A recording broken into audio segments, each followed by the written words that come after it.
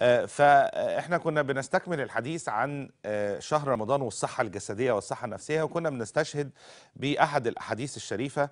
الرسول عليه الصلاة والسلام بيقول في أحد الأحاديث الصيام والقرآن يشفعان للعبد يوم القيامة.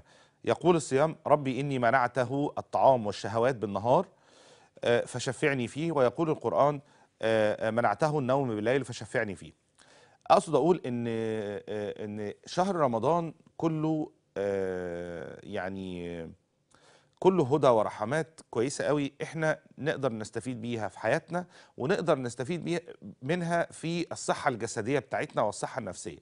بمعنى لما ربنا سبحانه وتعالى فرض علينا الصيام فرضه علشان خاطر صحتنا تبقى كويسة سواء نفسيا أو جسديا. تعالوا نناقش مع بعض نقطة نقطة كده عشان نفهم يعني إيه صحة جسدية وصحة نفسية سوية مع الصيام.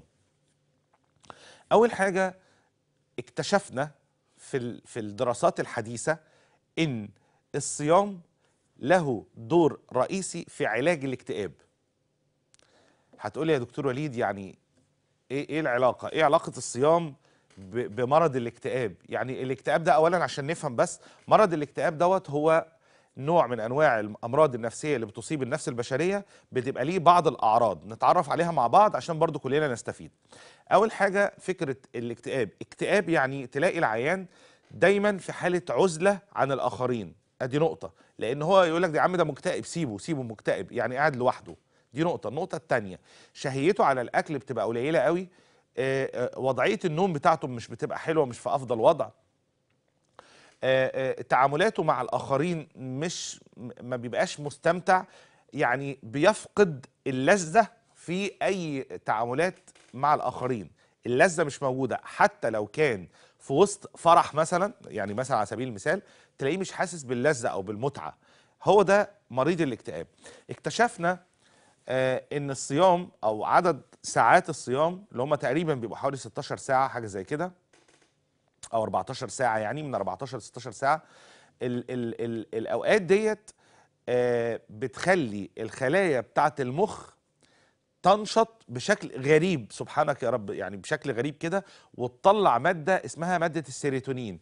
مادة كده عندنا في المخ بيفرزها الخلايا بتاعة المخ. المادة دي اسمها السيروتونين. مادة السيروتونين ديت هي اللي بتتسبب في حدوث ال euphoria. ال euphoria أو الانبساط. لقوا ان أو اكتشفنا يعني في في الأبحاث الحديثة إن الخلايا بتاعت المخ كل ما بت- بتقعد صايم فترة تلاقي الخلايا بتطلع المادة دي مادة السيروتونين اللي إحنا حتى بنسميها يعني بالبلدي كده بنسميها هرمون السعادة. فاكتشفنا إن الصيام له علاقة بتحسن مريض الاكتئاب. سبحان الله يمكن الروحانيات اللي بتبقى موجودة في رمضان أثناء الصيام آه، دي برضو عامل من العوامل المهمة. زائد إن آه، آه، إن الخلايا بتبقى لها القدرة على الإفراز بشكل كبير قوي. لوحدها كده كل ما تقطع عنها الأكل فترات طويلة. عشان كده سبحان الله لما كانوا بيقولوا صوموا تصحوا. سبحان الله. اهي ما هي الصحة؟ اهي الصحة بتيجي من الصيام. وهن